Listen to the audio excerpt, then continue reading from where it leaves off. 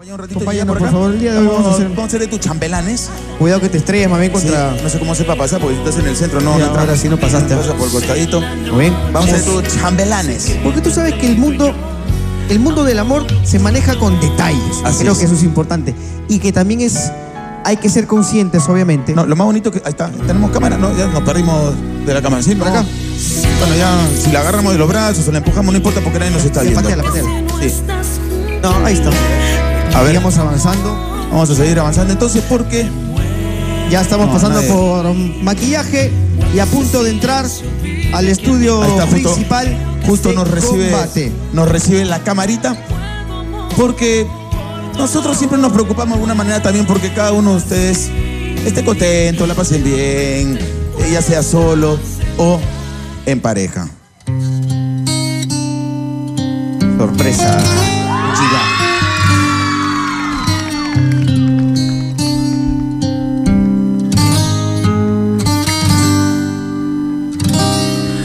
Nada dura para siempre. Es una frase común que suena muy diferente desde que te fuiste tú.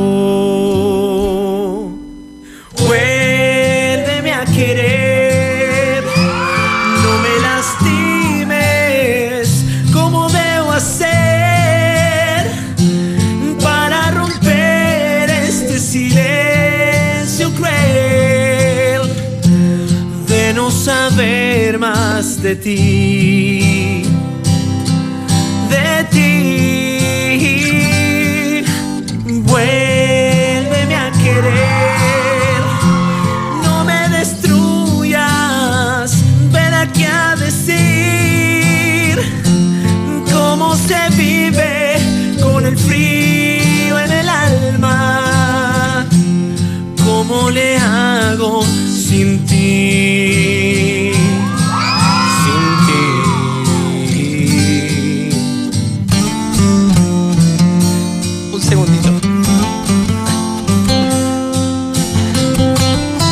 Chidam.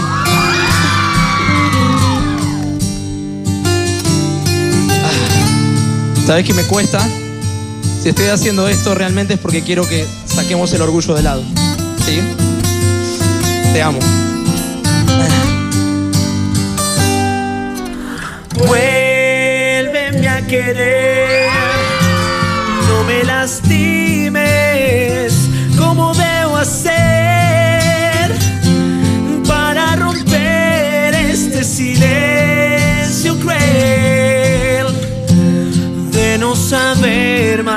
de ti?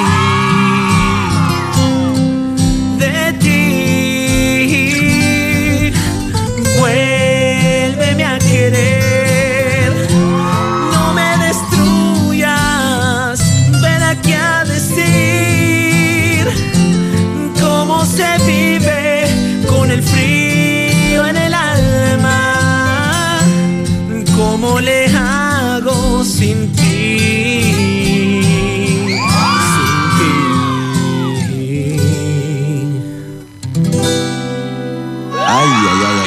Empañó la cúpula, señor. Oye, a ver, nos acercamos. No molesta, no molesta. Y adentro de esta caja Siento la necesidad. vestido, vestido de smoking. Siento que si no estás junto Y da una sorpresa muy bonita. No, bastante bonita. Ahora, Muy emocionada también. ¿Qué opinas? me imagino que lo que Julián está pidiendo es lo que dice la letra de la canción. Yo, ay, me mataron. Eh, Es bastante duro porque lo que yo he vivido con Julián es algo maravilloso. Lo que vivimos es algo maravilloso. Y, y ¿me prestas un ratito?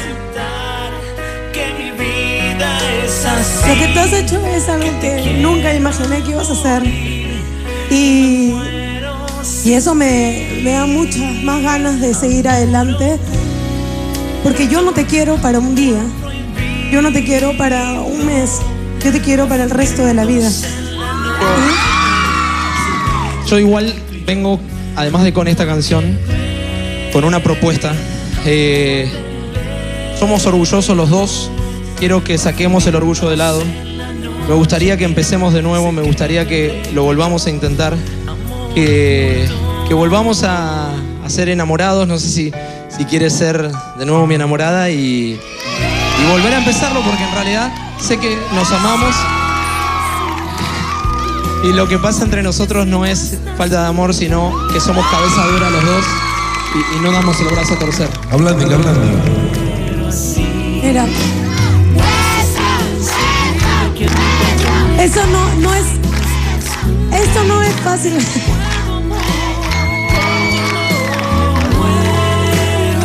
Eso no es fácil para mí. Tú sabes que yo te quiero para toda la vida y yo te amo con todo el alma. Sí, yo por primera vez puedo darme cuenta de los errores que he tenido. Sé que soy una cabeza dura. Sé que muchas veces meto la pata y que muchas veces no mereces renegar te doy. Y por eso yo creo que tenemos que seguir por este camino, seguir curándonos los errores que tenemos cada uno para poder seguir caminando de la mano siempre. Si nosotros volvemos en este momento, las cosas van a seguir igual. Y yo no quiero eso. Yo te quiero para siempre. Y yo te amo. Yo te amo. Ay, ay, ay. Bueno, una petición por parte de Julián, una respuesta de que de repente Julián no se esperaba, pero creo que es bastante válida su respuesta. No le ha dicho no, pero tampoco le ha dicho sí. Lo que pasa ahora. es que yo, yo siento que lo nuestro no es solo de, de- de ir enamorados. Yo de verdad, Julián es un hombre maravilloso, realmente. Tenemos muchas cosas eh, parecidas, somos... Él es muy renegón, yo soy muy cabeza dura. Y yo no quiero, no quiero que esto sea como una pelea más, sino quiero que las cosas se solucionen, porque si no se solucionan, no, no sirven para el futuro. A ver, lo que estoy entendiendo un poco es, de hecho, el amor, el amor está y, y- y creo que es parte fundamental de lo que es una relación como la de ustedes, que es una relación muy bonita, pero en este caso al pedido de Julián de, de- de- de ser enamorados, tu respuesta ahorita es no. Y, y quiero hacer una pregunta, perdón, antes que responda. ¿Cuánto tiempo antes de, digamos, este, esta pequeña pausa en su relación este, tenían ustedes? En realidad, nosotros pusimos una fecha en, en enero, eh, o sea que, que llevábamos unos meses. En realidad, nosotros, ustedes saben, siempre preferimos ser cautelosos con lo que informamos de la relación. El día de los enamorados estuvimos acá, anunciamos por primera vez nuestra relación en vivo.